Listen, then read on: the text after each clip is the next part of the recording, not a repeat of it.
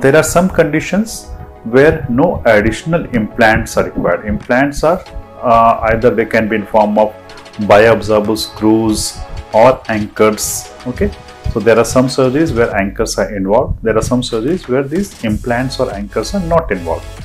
Now, where the implants are not involved, there the cost of the surgery is less.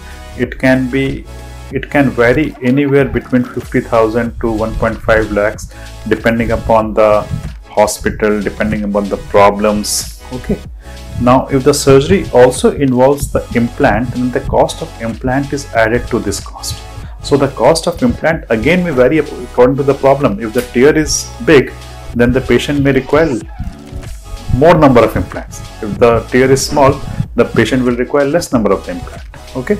And these implants are bioabsorbable ones. So these are a bit costly implants. So the cost of the implant can vary between say 20000 to 1 lakh depending upon the number of implants used.